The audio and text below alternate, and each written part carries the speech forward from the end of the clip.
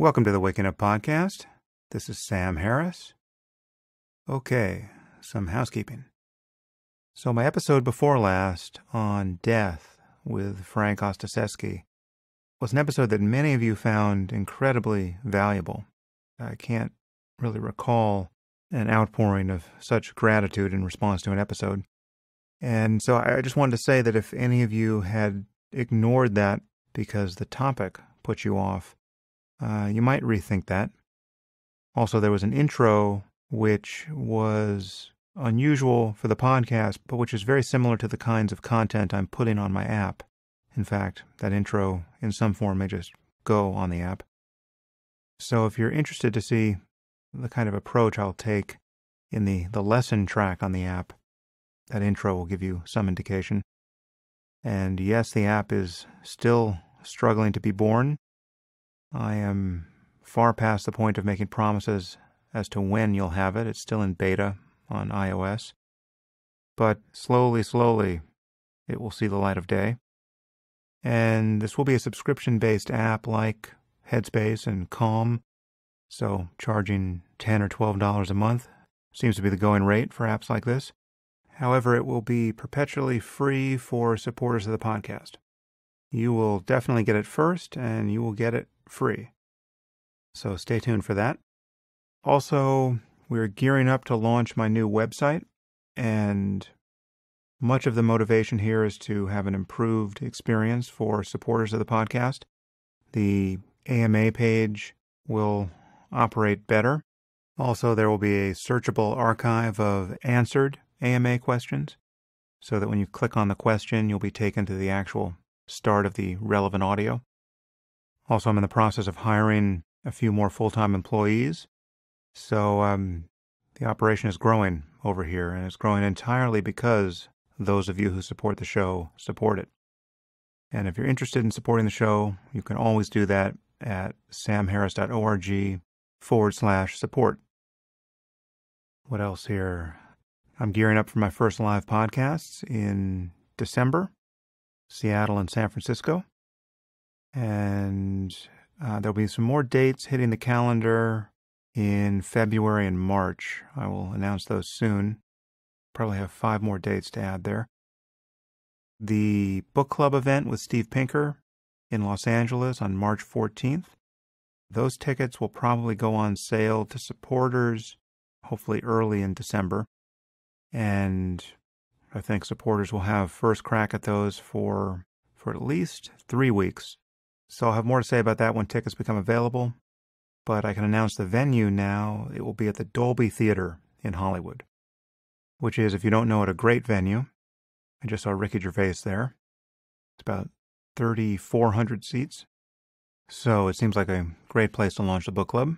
And I will have more details probably in my next podcast. Okay. Today I'm speaking with Jennifer Doudna. Jennifer is a biochemist. She's a professor in the chemistry and the molecular and cell biology departments at the University of California at Berkeley. She's also an investigator with the Howard Hughes Medical Institute and a researcher in the Molecular Biophysics and Integrated Bioimaging Division at the Lawrence Berkeley National Laboratory. She is one of the world's experts on RNA protein biochemistry, and in particular CRISPR biology. And she's the author, along with Samuel Sternberg, of the book A Crack in Creation Gene Editing and the Unthinkable Power to Control Evolution. And Jennifer is credited as one of the inventors of the CRISPR Cas9 gene editing technology, which is the topic of today's conversation. Uh, we get into all the details and the ethics. And uh, time was short. Jennifer is a a rock star scientist, and I could only schedule about an hour with her, but uh, I will take it. It was great to have her walk me through the details of CRISPR. And I trust you will leave this podcast as I did, knowing much more about where this technology is at present and where it's all likely to head. So, without further delay, I bring you Jennifer Doudna. I am here with Jennifer Doudna. Jennifer, thanks for coming on the podcast.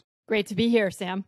So, you are a co inventor of CRISPR Cas9, which is a gene editing technology that we'll talk about. Before we get into this, perhaps you can just give a kind of potted summary of your background scientifically. Well, I, I uh, I'm a biochemist, so I'm somebody who studies molecules and how they work, and I've always been interested in evolution and uh, the way that that cells have evolved to use their genetic information in precise ways and that's actually how we got into the the whole area of gene editing. And you're at UC Berkeley, right? I'm at UC Berkeley, correct. Now, I know there's some controversy about who should get credit for inventing CRISPR Cas9, and we don't really have to go into that. I think there clearly is no controversy that you are one of the world's experts on this. Is there anything you want to say about the controversy, or is it kind of a distraction as far as this conversation is concerned? Well, I guess all I would say is that uh, my work with Emmanuel Charpentier was, uh, you know, going on to really, I would call it a curiosity driven uh, project that was aimed at discovering how bacteria fight viral infections. So neither of us were aiming to create a, a technology, but um, but the work that we did uncovered the activity of a protein that can be programmed to find and cut DNA sequences. And with that with that understanding, it was uh, pretty obvious that this was going to be a great a great technology, and that was work that was published in in 2012. So I don't think anybody argues about that. Right. Okay. Well, let's talk about CRISPR and, and that protein. But before we do, it might be good to give a very quick remedial summary of some basic molecular biology. I think we have a fairly educated audience here, but everyone, I think, can do with a primer on DNA to RNA to protein, and you know, because we're going to be talking about just the mechanics of gene editing here. So, can you give us a, a few minutes of basic biology here? Sure, absolutely. So, I guess we could start by by pointing out that um, people probably are familiar with the idea that DNA encodes genetic information. So it's it's really the chemical that stores information in cells and allows uh, cells to grow and develop and become tissues or, or whole organisms. And the way that cells uh, use that information is mostly in the form of proteins. So the information in the DNA is converted into into uh, proteins by a process that creates the protein molecules by reading the code in the DNA, and the intermediary in that process is is uh, is kind of what I like to call a throwaway a copy of the genetic information, which is uh, our, our molecules of RNA. And what has emerged over the last probably two decades is that RNA molecules are not just throwaway copies of, of the genome, but they are actually uh, molecules that have a lot of interesting functions in their own right. And that's actually what I've always been interested in in my own laboratory is the role of RNA molecules that are um, involved in, in controlling the flow of genetic information and helping cells decide when and how to use the, the information that's stored in the genome, in the DNA.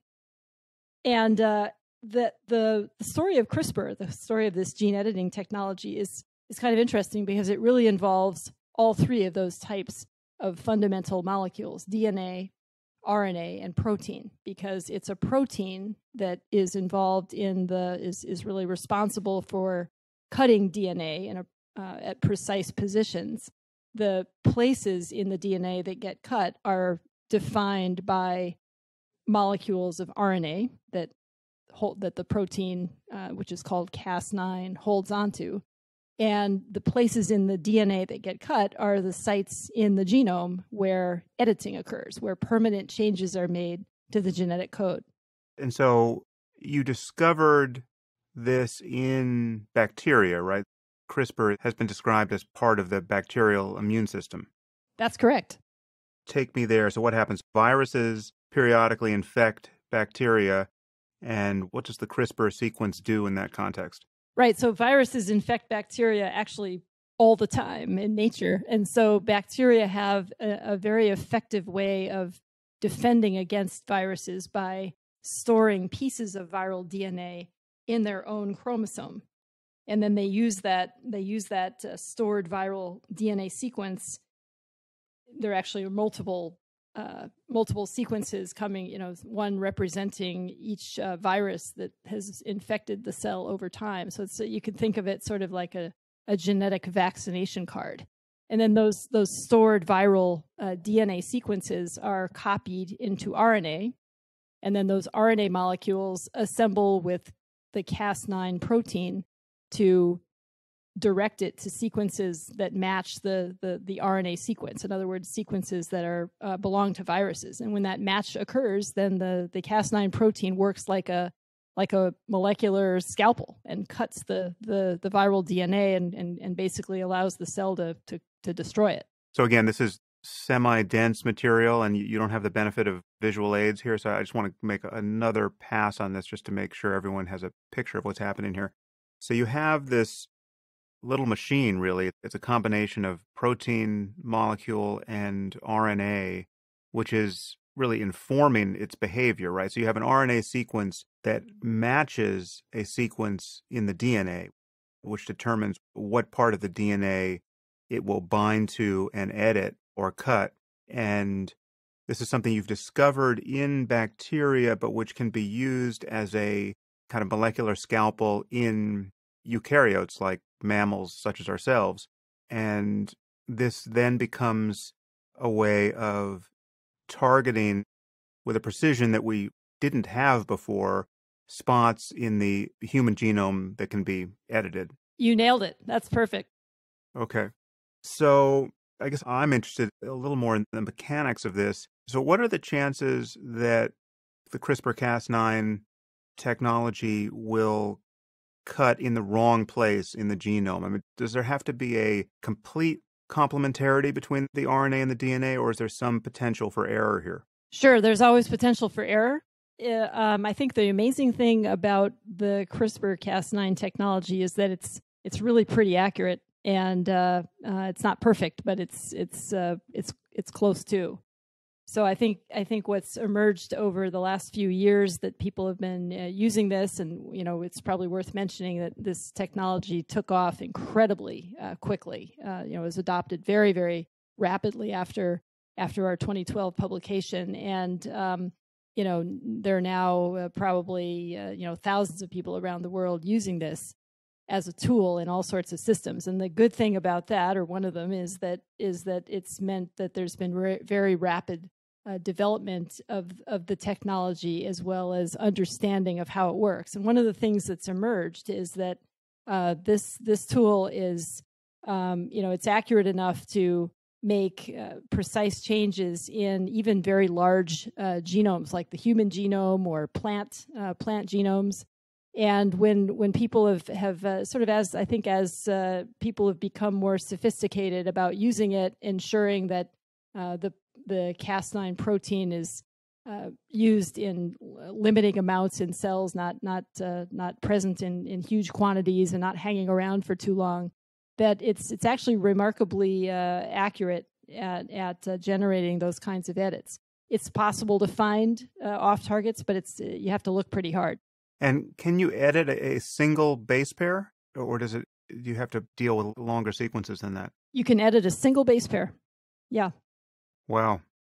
So you've described this as a scalpel. Now, what happens after the DNA is cut? Is it always a matter of inserting more DNA, a variant sequence, or can you simply cut and remove parts of the DNA. Yes, you can cut and remove or or you can cut and replace. The the removal part is is turns out to be easier technically to do than the replacing part, but uh, but both are possible.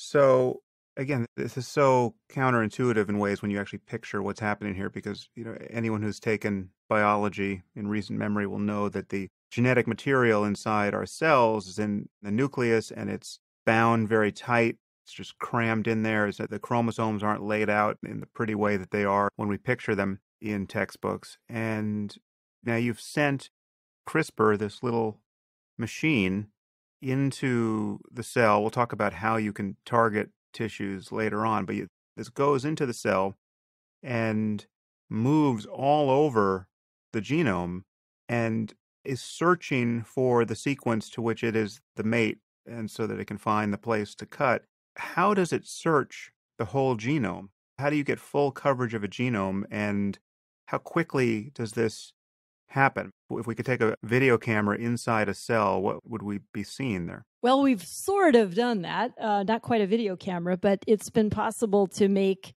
fluorescently labeled versions of the Cas9 protein that can be visualized in live cells. So you can watch, you can basically watch these little dots of light moving around in the nucleus. And when you do that kind of experiment, what what uh, emerges is that this is a protein that is has very fast kinetics. So it's moving around the nucleus incredibly quickly, much more quickly than what you see for other kinds of proteins that are uh, you know existing in the in the nucleus.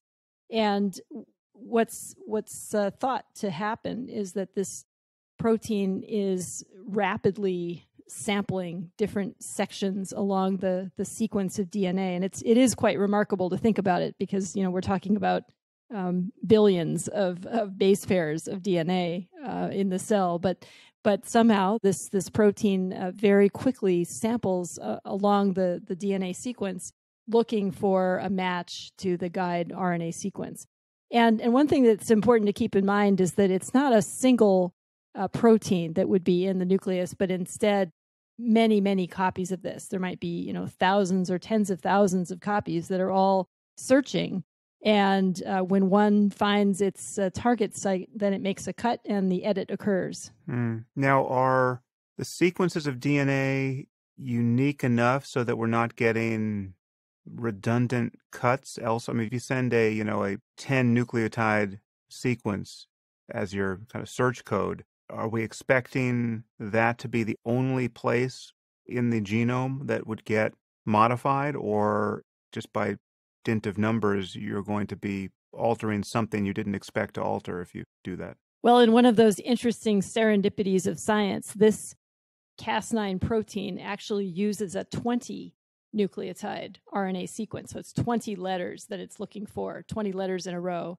And if you do the math, that's just about uh, what you need to uniquely define a sequence in the in the the human genome, for example. Good. The numbers were on our side. right. nice. Let's back up. So now we have a human being who has a variety of genes that are not as perfect as they might be. And we'll talk about the conditions for which we have some understanding of the underlying genetics and you know what could be modified here. But let's say we know what genes we want to alter. How would we target CRISPR to specific sites in the body? And presumably, these insertions would sometimes need to be tissue specific. You wouldn't want to send this everywhere, right? Right. And I think you're putting your finger on what I think is one of the, the critical challenges for gene editing in the clinic going forward, which is uh, just what you said. How do we deliver the, these uh, editing molecules into the right cells at the right time? One of the ways that it, this can be done today is actually by delivering into cells that are temporarily taken out of the body. So, uh, for example, people are working hard on correcting mutations that cause blood disorders because the blood cells can actually be taken out, edited, and, and replaced. So that's I, I think that's a that's one uh, strategy that gets around the issue of trying to deliver something like this into specific uh, tissues in a in a person. That's a that's a much bigger challenge. And why is it a challenge? I mean, what what would be the mechanism? Would you use some viral vector to deliver it, if you wanted to get it into every cell in the body, what would be the methodology? Well, that would be hard. Uh, I, even even using a virus, uh, because viruses tend to target particular kinds of cells. So you might have to use a cocktail of viruses that are able to get into you know many different types of, of cells. But I think what what is uh, typically envisioned is that you might be able to use viruses that would deliver into uh, specific parts of the body, for example, into the into the liver or or into the brain, and create edits that would alleviate disease in cases where the the gene edit is necessary just in in those kinds of cells. And what is the time frame over which this would occur? I mean, just so again, we'll talk about how difficult this might be in practice, but let's say we know the gene we want to edit and we have the way to target the relevant tissue, and someone has a disease born of this malfunctioning gene, how quickly would CRISPR change their genome and cancel the disease? Well, in principle, very quickly. Um, I, I, I've seen some data in animal models of disease, for example, in mice, where mice get an injection and within a matter of you know a couple of days you can start to detect edits in the dna of the cells that have been uh, targeted in the treatment so i think the idea in principle and i think this is something the field is working towards doing is that gene editing would be a fairly fast uh, kind of treatment and furthermore and this is actually very important to appreciate is that it's a it's a different kind of therapy because it's really a one and done treatment. It's in principle, right? The idea is you would do this once and then you don't have to do it again. Yeah. I really want to get into the ethics of all of this because that is quite interesting and obviously this worries a lot of people.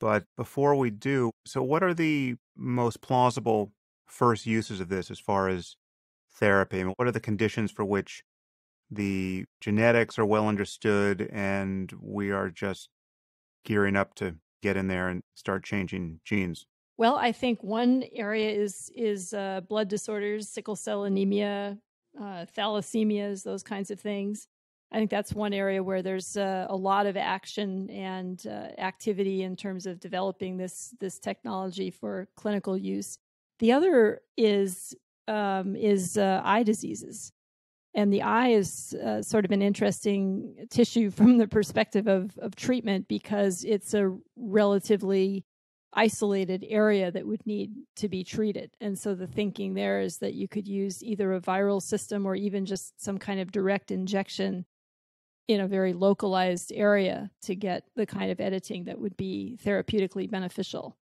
Yeah, I think you've hit on one of the easiest vanity uses of this technology as well. You could just change eye color, couldn't you? I don't know about that. Maybe. Anyone who's unhappy with their eye color, they can just consult your dermatologist or your ophthalmologist or whoever's going to get this first.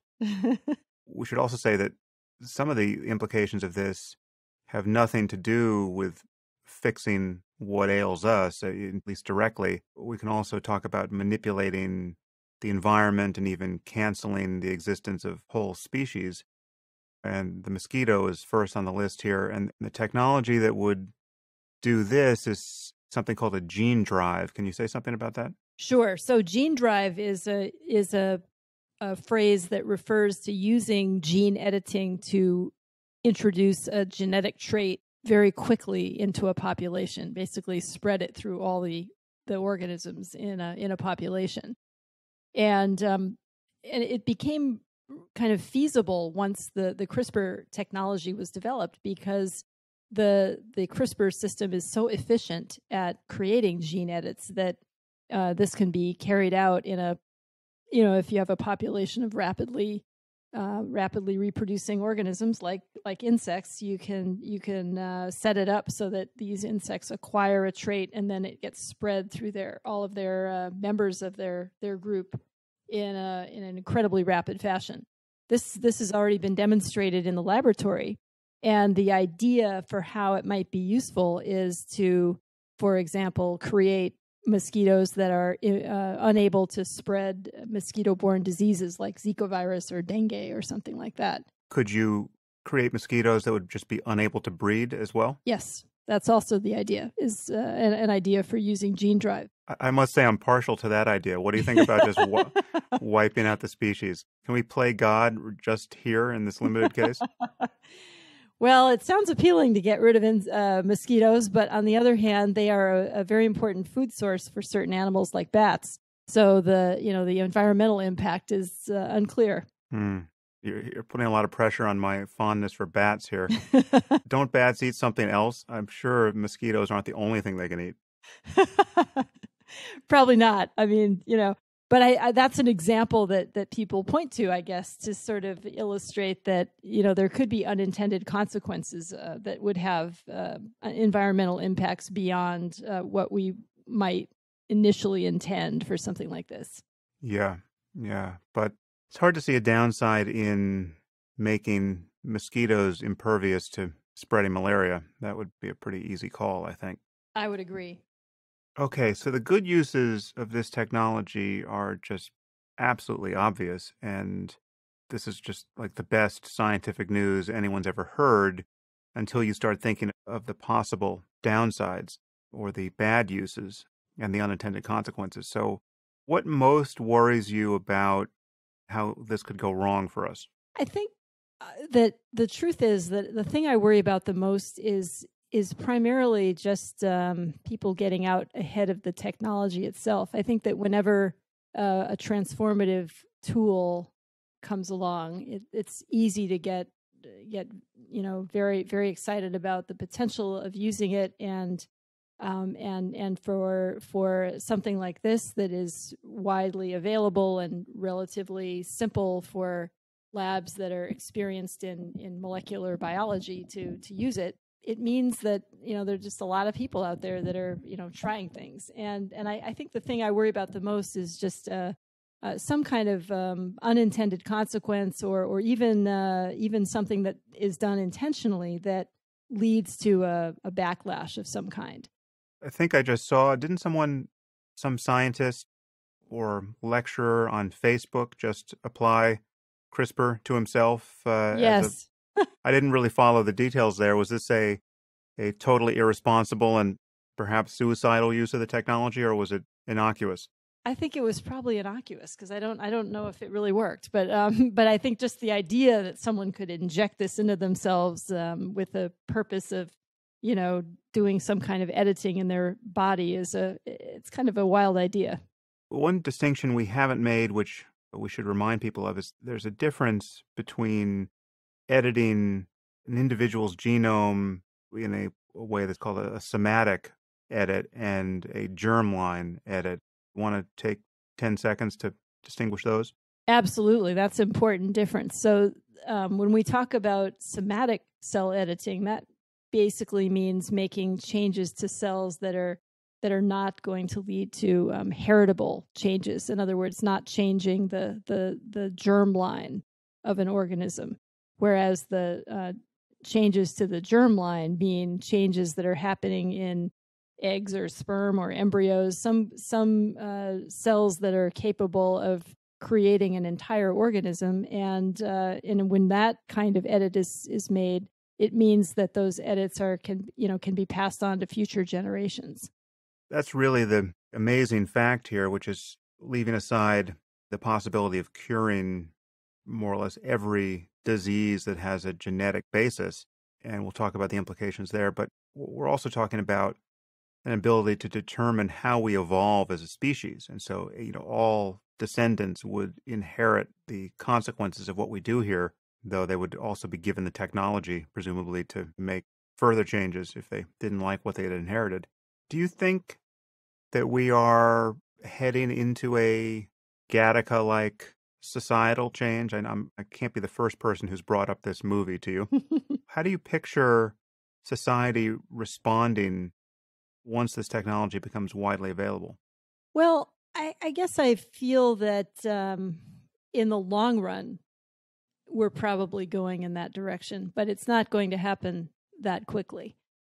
I think that the you know the technology is still in its infancy, really, and um, and as you pointed out, you know it's it it, it hasn't been widely adopted yet for um, certainly not it's certainly not uh, being widely used in clinical medicine yet even though there's a lot of uh, work going on in that direction. And one of the things that that uh, that holds back the use of of this kind of technology for any any Gattaca type uh, application is is frankly our own lack of understanding of the of our own genetics. You know, just the what what genes are responsible for different kinds of traits, and that's you know that's information that that you know it'll come, but it, it'll take time. Is there regulation in place here, or are governments trying to catch up to the science?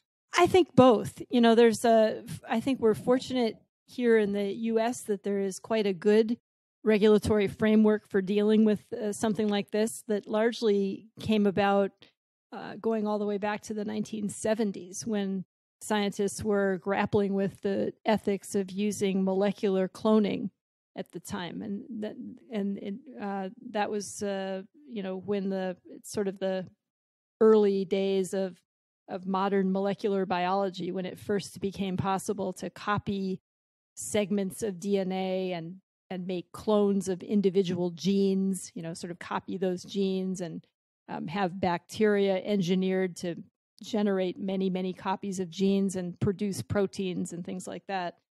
So a lot of the the groundwork for regulatory um, uh, guidelines were put in place at that time, and they turn out to be quite robust. And I think even for you know, so you, sort of today, you know, thirty or forty years later, uh, we still have uh, the, the the basis from those days to you know deal with uh, new technologies as they come along, including gene editing.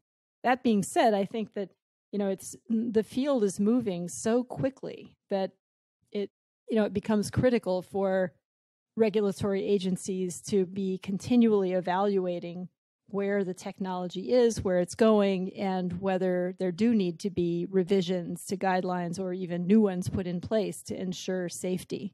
Mm. And uh, assuming we put our house in order, uh, we being the United States, how confident are you that countries like China or Singapore or any other country that would also have this technology would follow a similar program? Well, I I don't know. I, you know, it's very hard to I- imagine how regulations in one country would be enforced globally. I think it's probably impossible to do that. So I think the next best thing is to have uh, guidelines and and recommendations that are are uh, prepared by coalitions of of people from different countries who come together and you know basically agree on a set of uh, of procedures or or um, sort of norm norms of use that get adopted uh, globally. Even the best case scenario opens the door to some serious concerns. So let's just say that the technology works perfectly and we perfectly understand what we want to edit and why, right? So take an obvious thing on the menu, you know, human intelligence, right? Or even just a narrow band of intelligence. Let's call it G for short, if we understand the genetics of that and we can change our genes so as to improve our intelligence or the intelligence of our kids, that is something that people will really want to do provided that it's safe, right? And again, let's just stipulate that it will be safe or can be made safe. If you turn up the dial on safety, right, so that it is really, uh, you know, perfectly safe, then it begins to seem completely irresponsible, at least as a parent, not to give your child the advantage of the highest intelligence you could deliver, stipulating that there's no downside, you know, to being too intelligent or that you haven't changed genes that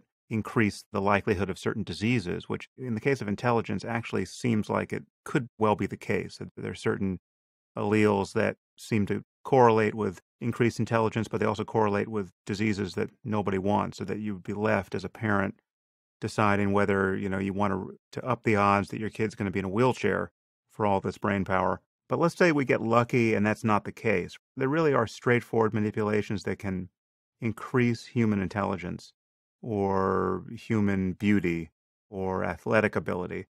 And whatever regulations we have here in the US if those regulations don't exist in Singapore, well, then you're going to see you know wealthy people booking trips of genetic tourism to get their genes modified. How do you think about that? Is there a reason to be worried about this? I mean, one consequence I see immediately is that if this is expensive to do, and again, this is the best case scenario, there are no downsides, all of this works, people come out smarter and happier when you do this to them. If it's expensive, you know, only rich people will do it first. And unlike many other things that rich people get to do first, this is the thing that allows you to further consolidate all of the advantages of wealth. This is like an engine of wealth inequality of a sort that we have never seen before. Yeah, I think you're describing a scenario that is um, is frankly not not coming anytime soon. But I but I do think that you're right to point out that the you know some of the issues that you're raising about access and and um, you know who who decides and who pays for such such changes if they were to come become uh, available and, and and and and were known to be safe to use and beneficial to people uh, yeah i think it does you know it raises some really profound questions i think that it also to me it it also raises questions of sort of who we are as human beings. I mean i think one of the things that makes humanity so wonderful in a way is that there is incredible variety in you know in, in life and and among different people. And um, you know i think for something like intelligence to me it's actually hard to even define that really because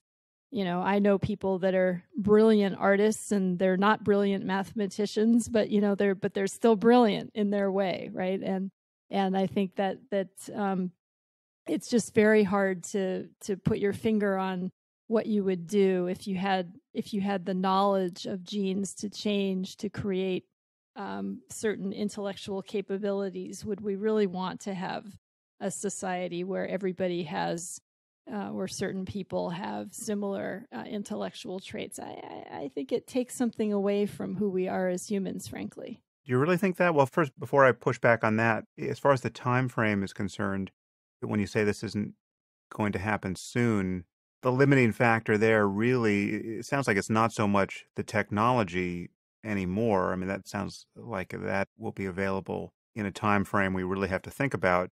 It's the understanding of the genetics for any trait we care about, right?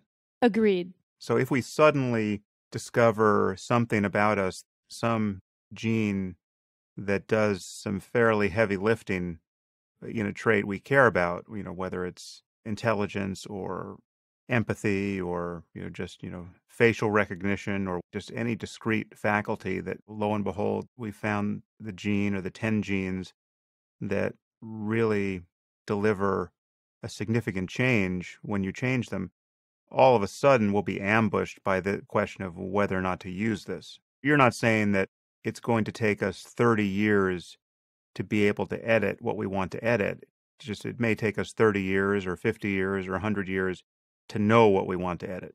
Yes, agreed.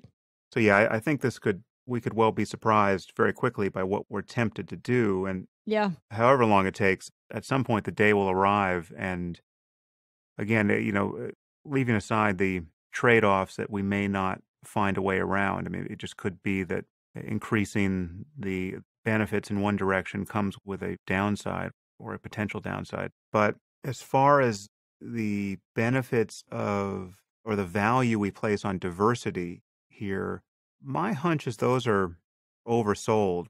Take your favorite artist who's not all that good at biochemistry. He or she may, in fact, want to be just like you in the lab, provided there's no zero sum competition between his or her artistic ability and an ability to think like you do, right? So, but there's the rub, right? There, there's the rub. But there's no, but, but I, I don't think there's good reason to think that there really are big trade offs here. You know, it's like you can get a Leonardo da Vinci who has a kind of omnibus capacity for intellectual and creative life. Now, again, there could be some trade offs. I'm not discounting that possibility, but it is possible to be really smart, really creative, a great athlete, physically extremely attractive. I mean, like you can sort of win the lottery genetically. And then it's just a matter of what you feel like doing with it. I don't think we will, again, uh, you just have to picture what it will be like to know that the technology is safe and effective. I don't think people will be very sentimental about diversity as we know it. Well, they might. I mean, I, I think I think what you're describing again to me is is still in the realm of, of science fiction because we just don't. I, think it's going to be a long time before the genes responsible for all of those sorts of traits are known, and furthermore, my guess is that you know the, we're talking about probably hundreds if not thousands of genes and it probably is not as simple as making a change to a few letters in those genes but it you know it's more about genes in a particular genetic uh, background. So i think what you're what you're talking about is is is quite far in the future. I think what's what's what's potentially going to happen first is that it will be possible to do things like like I'll give you a specific example that I think is sort of interesting to think about. Imagine that you could make edits to a single gene that is known to is well documented to be involved in high cholesterol. So it you know people that have this uh, particular form of this gene um, are susceptible to heart disease, but if a change is made, kind of a simple change to the gene, they are effectively protected from any kind of cardiovascular disease for their entire life. They're not going to have to take statins or anything like that. And you know, what if what if something like that were offered to parents? I want it. It sounds sounds good, right? I'm expecting an email from you when you get that in the lab. and so so I but I think it's an interesting case because it, it you know is that is that is that enhancement or is that you know is that you're are you doing it for health? And i think you'd want to know that um, there's no risk to doing it and you'd want to know that there's no downside to making that change. Um, but if you knew that were the case i think everybody would say yes i want that. And you might even say it's sort of unethical not to do it. Yeah and i think the boundary between enhancement and therapy that you just drew is something that won't withstand much scrutiny. I mean, we spend our entire lives trying to enhance ourselves. I mean, just to think of the energy that goes into trying to raise children to be happy and healthy and wise and intelligent and creative. And it would be irresponsible not to give your child every advantage you can compatible with a society that's built around some semblance of fairness. And when you think about just how much of what we care about is anchored to the genome, you know, if not totally defined by it. I mean, just to speak about the human mind, it seems that more or less everything we care about is at least, you know, 50% beholden to our genes. And we furiously work on our environments, you know, both personally and collectively to try to do the best we can with the biology we have. But the moment you start talking about being able to change the genes, I don't know. It just seems like, you know, this is a point I'm sure that's been made to you, but people risk their lives for unnecessary surgeries, you know, to change the way they look. And we have accepted that as just kind of a normal human activity. And yet it's a fairly extraordinary thing to do when you think about it. I just think safety and efficacy will be the measure of whether or not this should be done. But the moment you give me safe and effective, it seems like all the friction comes out of the system and people will just demand to be able to do this. Yeah, I think that's probably true. As far as a time frame, what do you think for the conditions we most understand? I mean, when would you expect people to be given some choices here?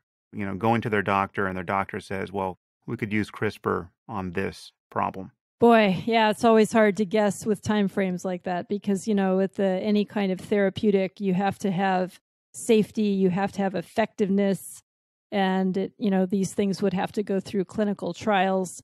So I think you know we're probably talking, you know, several years at least. Well, this is so fascinating, and this is unlike many conversations. Uh, I'm confident this is not going away anytime soon. This is just a glimpse of what the rest of our lives will look like. I know um, you both caught a flu that CRISPR couldn't couldn't protect you from, and uh, our time is short. And you've been very generous. Is there anything else that we should talk about here that you want to give people some perspective on? Yeah, there is something else, and that is I think it's important for people to appreciate how science actually works, you know, and how how new technologies come about. It's, we're kind of circling back to what you the way that you started the the conversation today, but I think that I'd like to just point out that I've now been doing science for, you know, professionally for almost 25 years. And what I've seen over that period of time is that there's an incredibly, uh, you know, there's a, there's just sort of an incredible combination of serendipity and um, occasional flashes of insight that, you know, that go into any kind of scientific endeavor. And I think that that if we look at the way that new technologies arise, and CRISPR is is one example, but you know there are, are obviously many others. They often come about through uh, curiosity driven research, and there's you know that type of work has come under fire in our country in in recent years, especially. And uh, you know there's a been a push towards uh, wanting scientists to be very focused on curing cancer or solving heart disease and those sorts of things. And uh, I think it's you know it's important to appreciate that that uh, I think that we need to have we need to have a balance between focused projects like that that are aimed at uh, particular outcomes, but we also need to have work that's going on that just encourages curious, creative people to ask fundamental questions about how the world works. Because it's often through that kind of endeavor that new technologies arise, and and uh, you know we can't we can't predict where they're gonna where where new things are gonna come from. Yeah, I'm really glad you said that. That is a super important point that we lose sight of, and I think we lose sight of it more and more as these efforts become increasingly privatized and kind of market driven. I mean, obviously, if the market is going to dictate the science you do, it really does have to have some tangible payoff. You have to think you understand what the payoff is in advance. And so you, you basically become a technologist more than a, a scientist. But as you said, you know, given that we are still struggling to understand how the world works, you know, we are investigating reality as we can come into contact with it. And given how much we don't know, there's just no way of knowing what useful insights we'll find just by following our curiosity. And so if you close the door to mere curiosity and just try to hew to the engineering problems and the technology problems as you understand them, you're just, eh, I mean, it seems like a guaranteed way not to make the kind of startling progress that scientists make even on those goal driven, engineering focused technical questions. Yep, exactly. Yeah, well, listen, this, this is just amazing work that you have done. And I feel guilty stealing even an hour of your time. Get back in the lab and uh, and cure us. If you're enjoying the Waking Up podcast, there are many ways you can support it at samharris.org forward slash support. As a supporter of the podcast, you'll get early access to tickets to my live events, and you'll get exclusive access to my Ask Me Anything episodes, as well as to the AMA page on my website, where you can pose questions and vote on